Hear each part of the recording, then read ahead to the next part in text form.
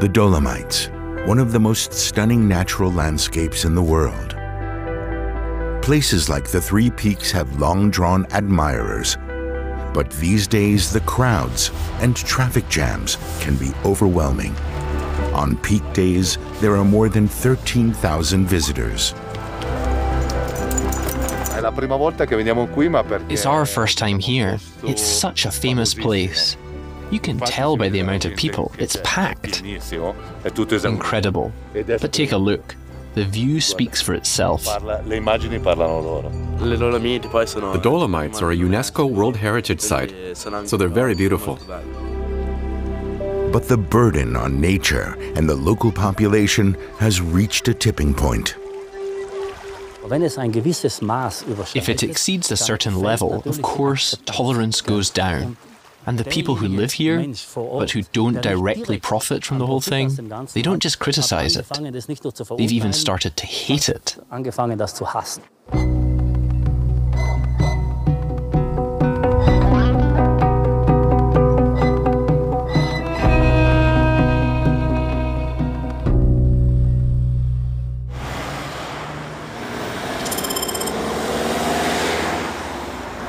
A typical morning in high season.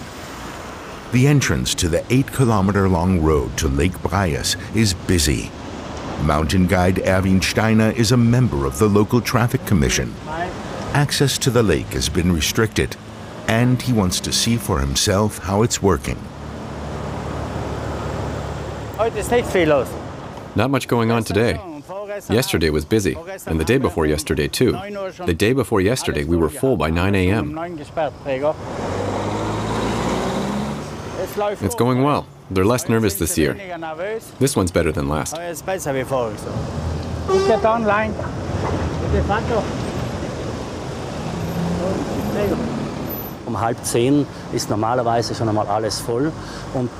Everything is usually full by half past nine. Depending on how it empties out later, guests can reserve parking spaces and drive in. So it's not about keeping people out, it's about organizing things in the valley in such a way that, first and foremost, the locals still have a decent life, and that the tourists who do come find it to be more or less as they imagined it. Prags is one of the first municipalities in South Tyrol to introduce a control system like this one for visitors. The reason? Almost permanent traffic jams during the high season and overparked meadows. Now drivers without a reservation are directed to a makeshift parking lot where they can try to find a space online. We've never been there before. I wanted to take my daughter on a short hike up a small mountain and just have a relaxing day. But now it's getting a bit complicated.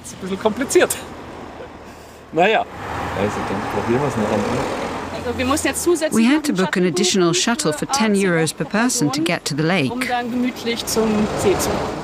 Is that okay? Mass handling, I'd say. They know how to make their money.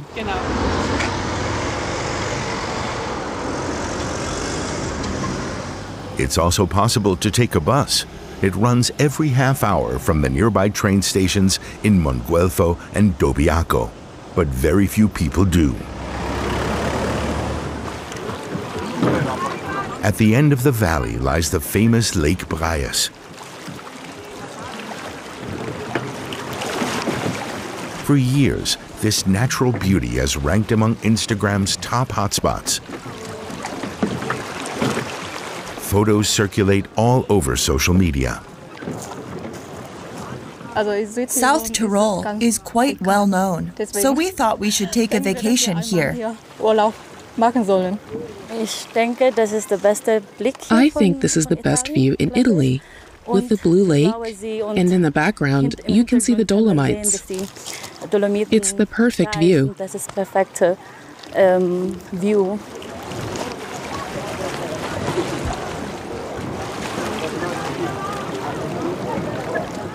This is the perfect view in our pre-wedding shoot. It's less crowded than I expected. Uh, still a lot of space to move, so I'm totally fine uh, with it.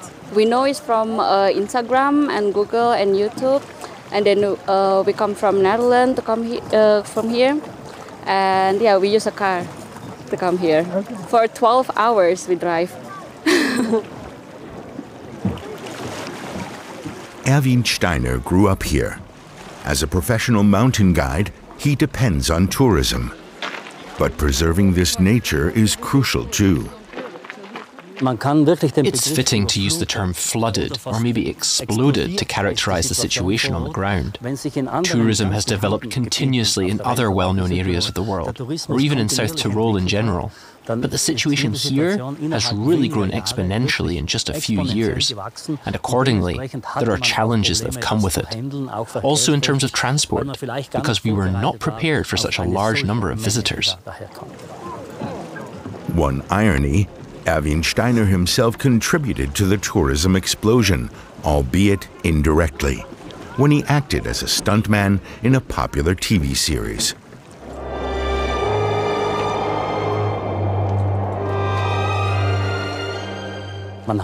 We completely underestimated the impact. I did especially. I'm a bit to blame for the whole thing. It was filmed here, and then a lot of Italian tourists came here in the first few years afterwards.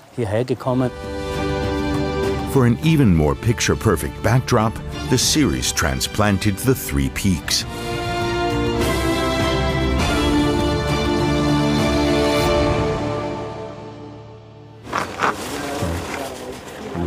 Early the next morning, Erwin Steiner is preparing for a mountain tour.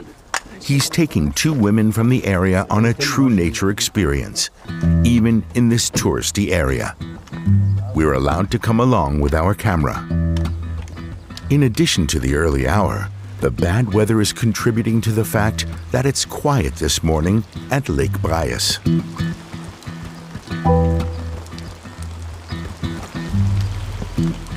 A rain front is supposed to pass over. Then it will get better. We're headed out with Erwin. He'll take us out on a cool hike you might not find on your own. Can't wait. The lake is this area's obvious hotspot. It's what most tourists come to see. But what's often forgotten is this is also the starting point for a good number of mountain tours. Erwin chooses one of his special wild trails, quite literally off the beaten path. We live from tourism, of course, and that's also important. There are thousands of people here every day, but I think nature will suffer further if even more infrastructure is built for tourists. He fears that more tourism could scare off his target market hikers and mountaineers looking to experience pristine nature up close. We wanted to understand the situation better so we set out on a trip through the Dolomites and almost immediately come to a stop. The access road to the Three Peaks was already closed that morning due to overcrowding. The mountain could only be reached on foot or by bus. UNESCO commissioned a study in 2018 to explore conditions here. The study looked at individual hotspots and determined the limits of their carrying capacity in other words, how many tourists can a place tolerate? The study found that Lake Braies could tolerate 2,000 visitors per day. But on an average day in August, this limit was exceeded sixfold. And on peak days in 2018, more than 17,000 people crowded here. The Prags municipality aims to have a maximum of 5,000 people at the lake at any one time. Measures like these traffic controls are meant to help. But do they actually work? Or do restrictions on cars lead to even more traffic congestion, merely shifting the problem elsewhere?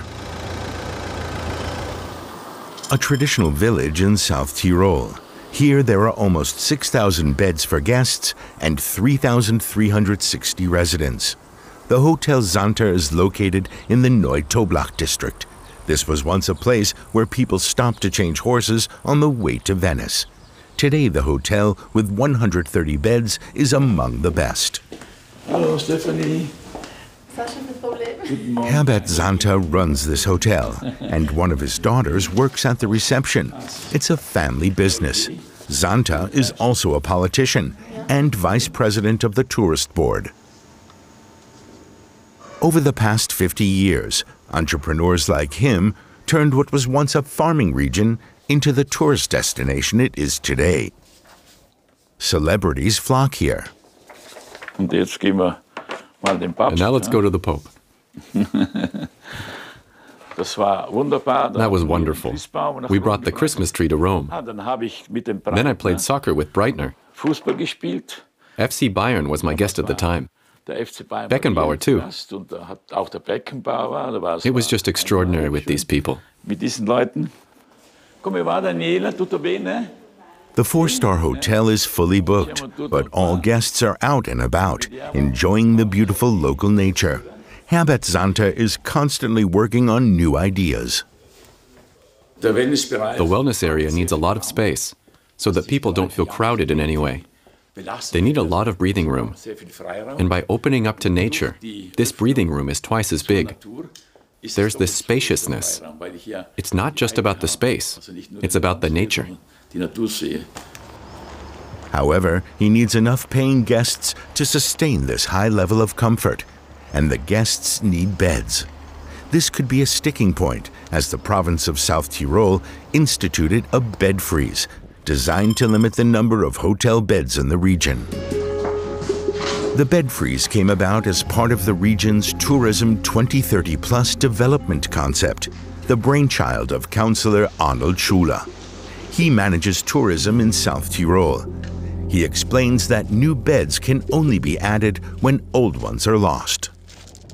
The measure is radical. This upper limit will have an effect. It is already having an effect, and that means we have to reorient ourselves. The growth rate we have been seeing will no longer be possible. It makes no sense and is counterproductive.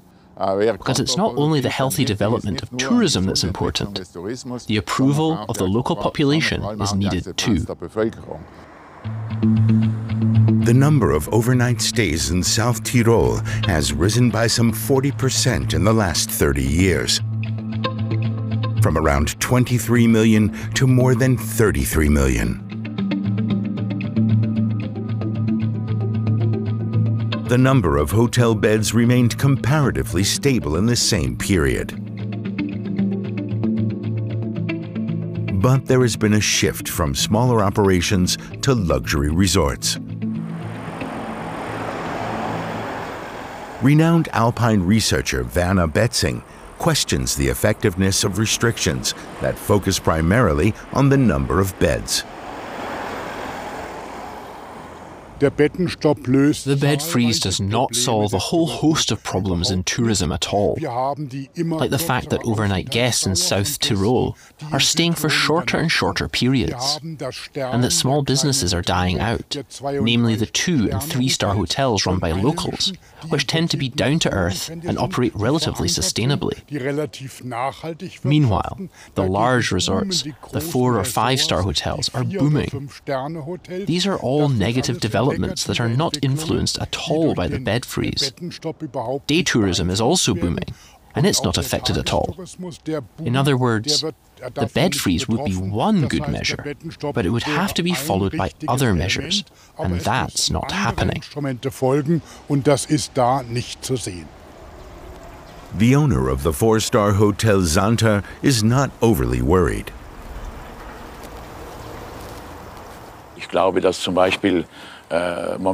I believe that this is certainly a new challenge for South Tyrol at the moment. We're seeing a lot of political zigzag. But I think it will resolve itself in the end. I believe the economy can't be steered and managed. The economy will develop on its own and make the best of this situation. That's why I believe this is much ado about nothing.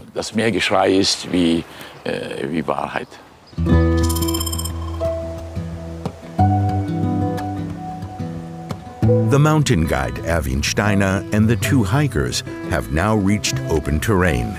The rain has let up, and there's no sign of the crowd down by the lake. If you know your way around, it doesn't take long to get to a place where there are fewer people. Of course, as locals, we especially like it if we can avoid the crowds, even in peak season. We'll stay on the path for a while, walk along the trail, and then branch off, cross over without a path, along the grassy ridge, to the climbing route. Erwin Steiner wants to make things even more exciting today with a special climbing route on the way to the summit. Solitude and tranquility. The contrast to the crowds 500 meters below at Lake Braies couldn't be greater.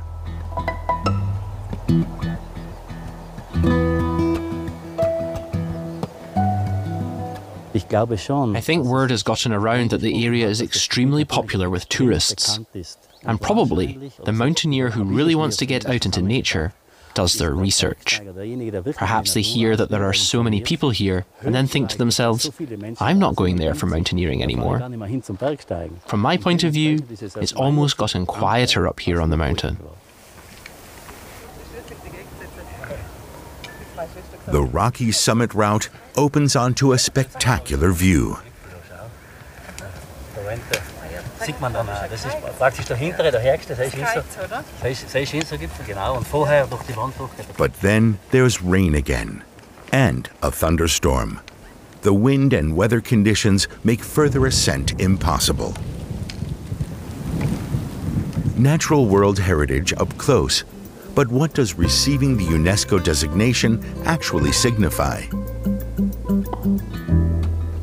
The meaning has gone a little sideways.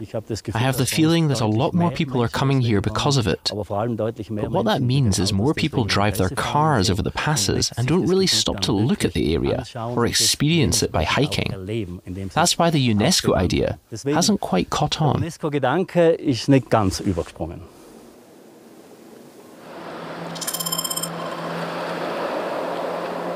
A shift in scenery a visit to Lake Carezza, not far from Bolzano.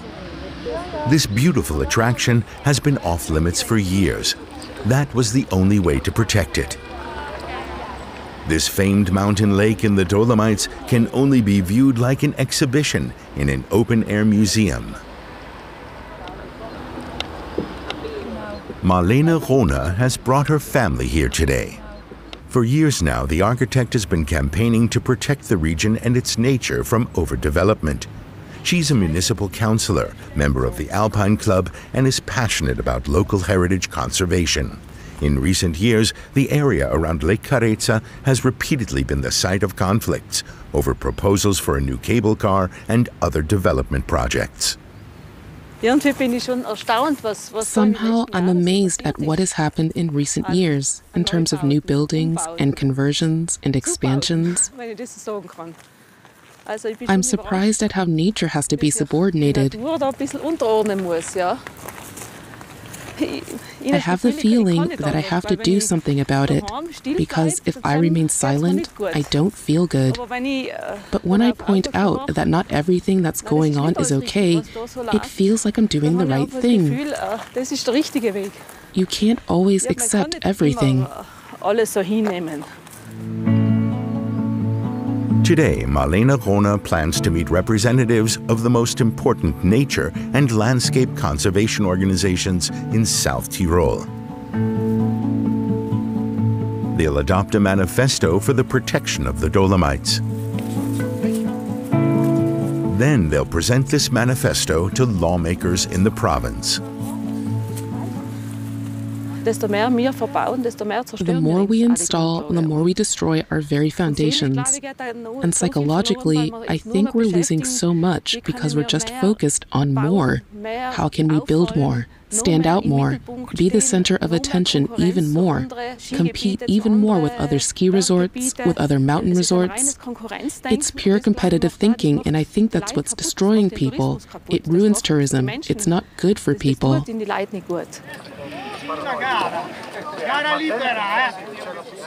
New facilities at tourist spots attract ever bigger crowds. The latest project planned for the mountaintop, a seven-story glass tower. The plan was met with great resistance from nature conservation associations and the UNESCO World Heritage Foundation. The idea is now being rethought by the province of South Tyrol, but signs of construction work can still be seen at every turn. The activists work for different nature and heritage protection associations. They've chosen the Kölner Hütte as the place to compose their statement. It stands under the landmark Rosengarten mountain range, part of a landscape that is being more and more heavily developed in a push for more tourism. The group talks about how to stop the development and how to reach as many people as possible. They are simply staging our landscape. It doesn't need staging. Some South Tyroleans think it's not enough. The important thing is that this is not just a gut feeling. Studies prove it. Every survey shows that people come here because of the landscape, because of the authenticity, because of the mountains. So we're basically ruining the basis of our own quality of life on the one hand and tourism on the other.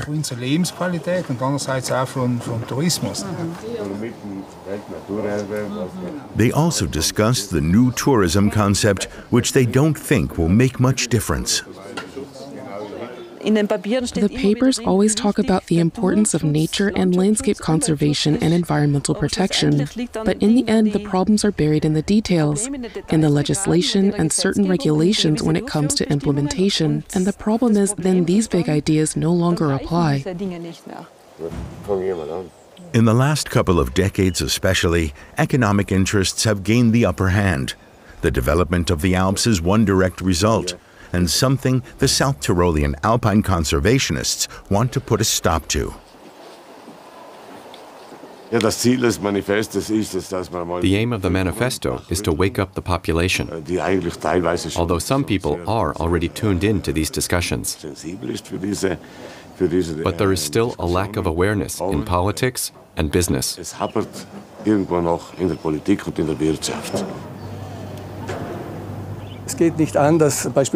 It's unacceptable that, for example, the province of South Tyrol is financing 75% of this cable car, and no climate check was carried out. We already have cable cars that can transport more people up the mountains every day than the number of people living in South Tyrol.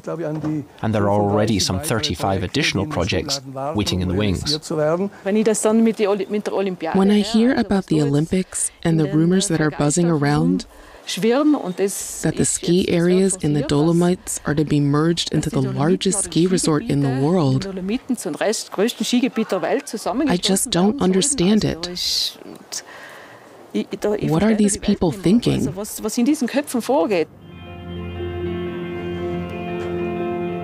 The Rosengarten mountain range is one of the crown jewels of the UNESCO World Heritage Site. It has served as an advertising backdrop for South Tyrol for decades. Now there's a new artificial lake here under the mountain peaks, a reservoir for artificial snow. We meet Mayor Markus Dejori in the resort village. Since 2010, he's headed the municipality of Welschnofen, which includes the Lake Carezza area. How does he deal with the criticism? Many visitors tell us that they don't even notice that there are winter resort operations here because the slopes are actually located on meadows. They've always been meadows. So they're not the huge forest pistes that have simply been carved out like in other ski resorts. The renovation of the ski area is now almost complete. We want people to come to us. We're a welcoming community. We just need to control the development a little so that it doesn't get out of hand. The state road will be relocated. Starting next year, it will run to the far end of the parking lot.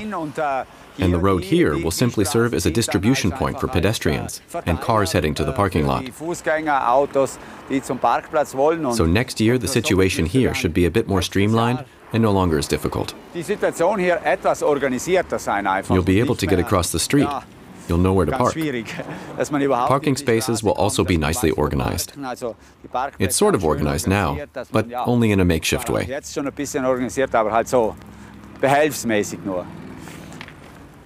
He's here now because his office got a call saying the parking lot was littered. The mayor decided to go see it for himself.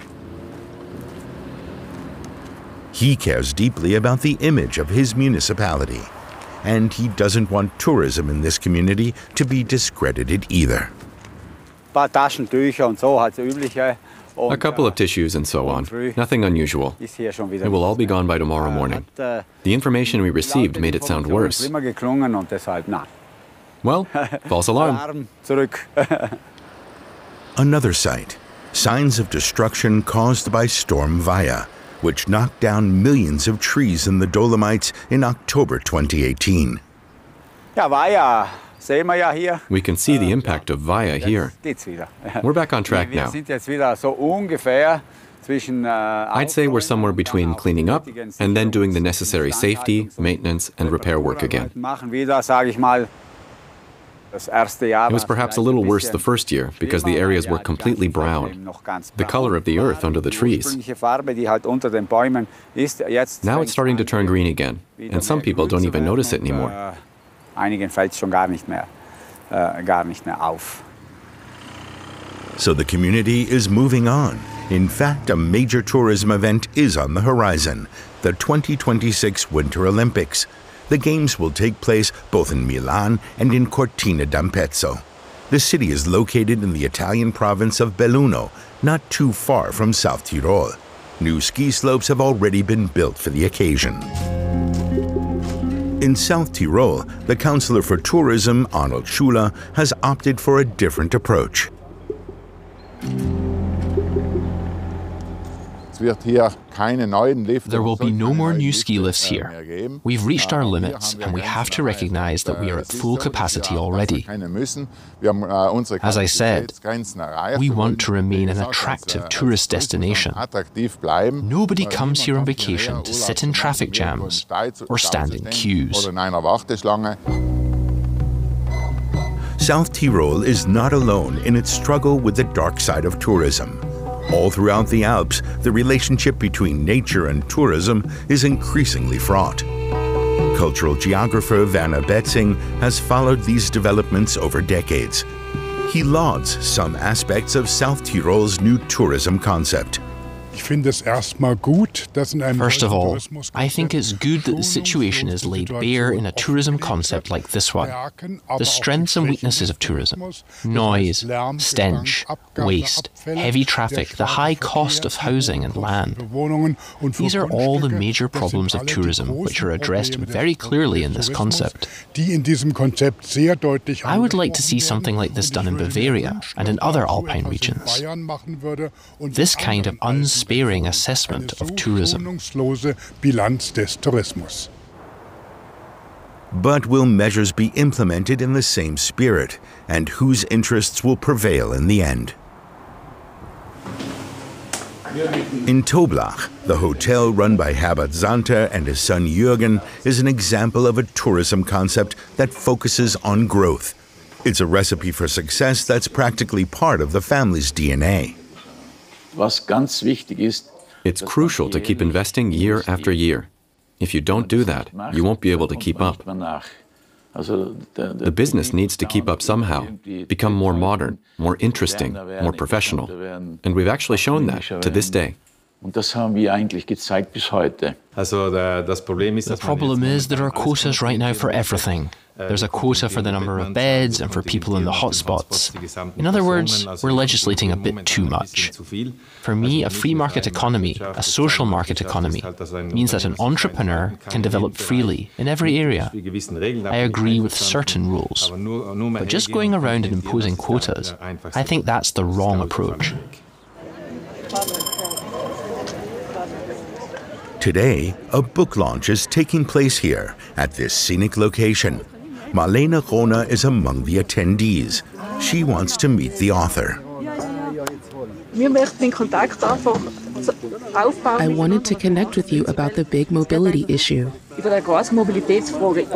Happy to. In his book, Michil Costa, himself a hotelier from Corvara, has written a scathing critique about the development of tourism. He believes that South Tyrol is at a tipping point. Why don't we close the Dolomite passes? Because the people in charge lack the courage.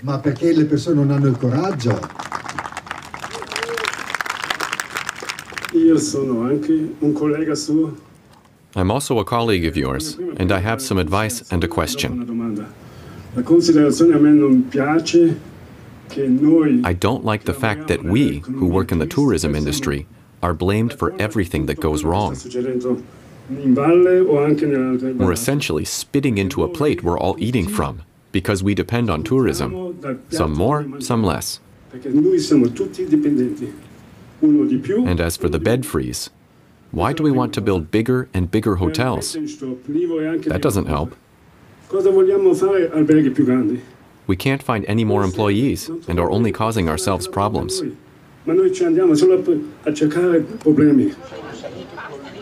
After decades of continuous growth, people here feel an urgent need for discussion about a bed freeze and the future of tourism as a whole. It's about mass tourism. We have a small area. We can't cater to everyone here. We have to set a limit. We have to restrict mobility, especially. We want guests to come for the beauty of nature first and foremost, not for the saunas, or another swimming pool, or another steam bath. That's all nonsense. We don't need any of that. I drove up at 6 a.m. last week to enjoy the Gardena Pass and Sella Pass in peace and quiet. And today I had to drive up at 2 p.m. And it was terrible. Cars, motorcycles, buses, cyclists everywhere. Plain and simple. This is not how it should be. My idea would be to follow the American model, where you pay admission to enter a park, a real national park, so that it doesn't become an amusement park where you have fun and it's practically a playground. Instead, it's a place where nature is respected because we're part of nature and we have to protect ourselves. If we don't protect nature, then nature survives quite well without us, I think. So it's about more than just overcrowding at the hotspots. Could access to the mountains be blocked? Quotas are not antisocial. Quotas mean that if I want to go to the New Year's concert in Vienna, I have to register three years in advance. Or if I want to go to Bhutan or the beautiful Monte Cristo island in Italy, I simply have to reserve in advance. And that means I also appreciate the area. I would stay longer, spend more time there. Because this fast, mass tourism doesn't do anything for people. And it doesn't do anything for us, the people living here. About a month later, we visit Markus Pikolruatz at his four-star hotel Jakoberhof. The bed freeze has been adopted, and the municipality is now collecting statistics. Unlike his colleague in Toblach, he welcomes the decision in favor of more regulation. I think that the bed freeze has come at the right time. A lot has happened here in South Tyrol over the last 10 or 20 years. A lot has developed, sometimes for the better, sometimes to an extreme. We have to understand that it will eventually come to an end. Markus Pikolruatz is proud of his hotel, which bears the unmistakable signature of his father, a woodcarver. He is delighted that his daughter will soon be attending hotel management school so she can take over the business later on. The transition to the next generation doesn't work in all families.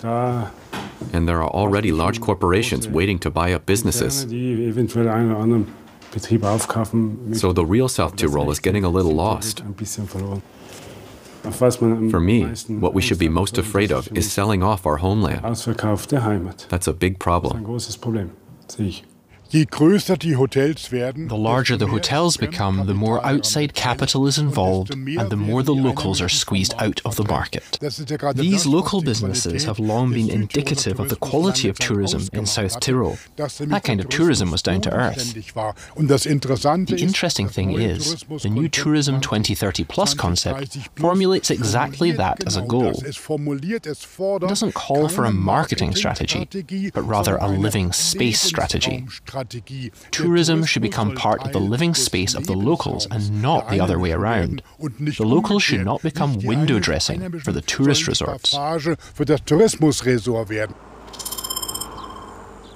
On this day in September, an event demonstrates one possible approach. On Sellaronda Bike Day, the Dolomites Pass roads around the Sella Massif are closed to car traffic. It's closed, yes. Yes. For the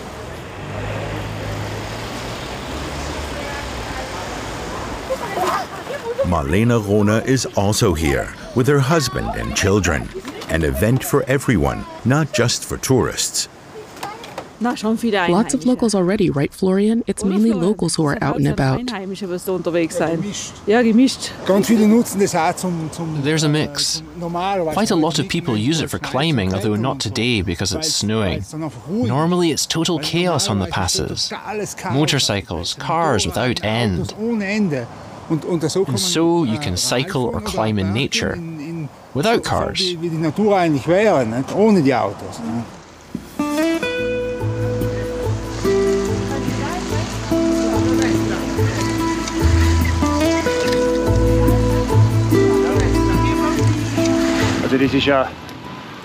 It's the greatest thing for any cyclist when passes like these are blocked to traffic. This cyclist and his friends have taken part in the event before. He's thrilled to be back. This is our third day here. All told, we'll be there for four or five days. And of course, today is the highlight.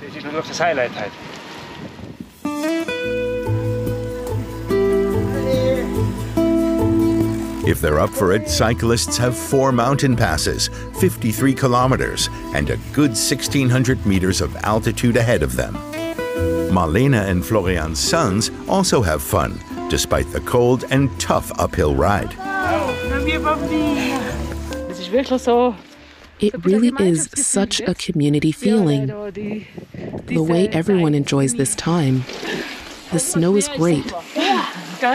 The mountains are great. A dream. A total dream. So beautiful with the snow. For over 15 years, this event has been held as a part of an appeal to stop traffic on the pass roads more often. A step in the direction of a gentler kind of tourism. The idea is gaining more and more supporters. Bravo, terrific. Well done. They did a great job.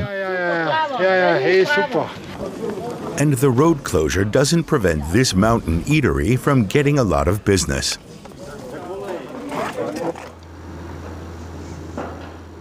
Two hours later, down in the valley, the cars have reclaimed the roads. Gerhard Vanzi works in the tourism industry and lives here in Selva Val Gardena. He tells us about how people's attitudes have evolved. These are our friends.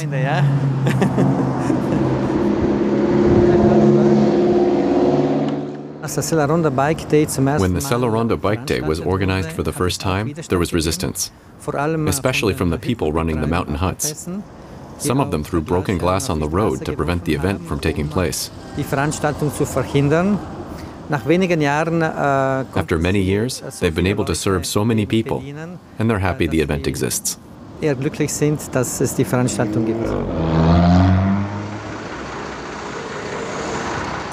Gerhard Vanzi knows that every innovation has its opponents, especially when there's a fear of losing business. That's why he's taking a different approach with his project. We don't want fewer people. We just want people to move differently and use environmentally friendly and sustainable means of transport, simply to reduce the impact on the environment and on our population. He is pushing for a low emission zone in the area. This would reduce the share of motorcycles and cars in total traffic from 92 to 42% by 2030.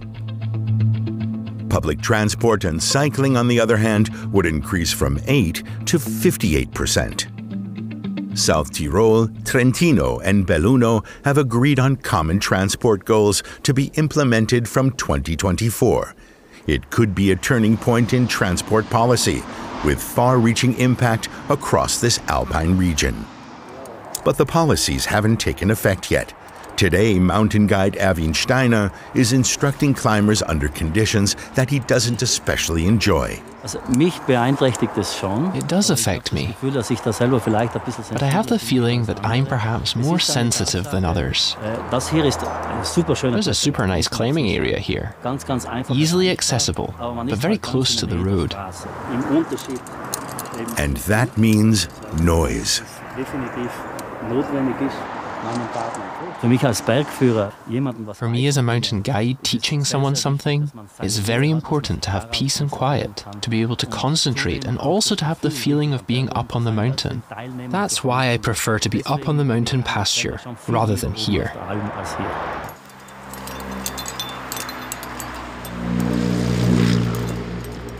For many locals, the peak season is the most stressful time of the year. It's over now and time to take stock. The checkpoint at the entrance to the Braies Valley has been dismantled. Did the vehicle restrictions help control visitor numbers? There were concerns everything would be blocked by the valley entrance on the stretch of road we're driving along now. That didn't happen. There was always a bit of an opening so that no traffic jam formed. And the goal of limiting the flow of visitors was in fact achieved. For many years, the Braies Valley has not been so well perceived by tourists and locals alike. This year's efforts have certainly proved very successful.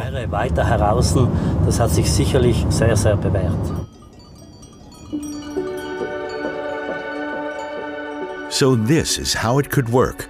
South Tyrol is taking the first steps to tackle unbridled tourism, to improve the lives of locals, and to protect its natural heritage. Perhaps it could serve as an example for the entire Alpine region.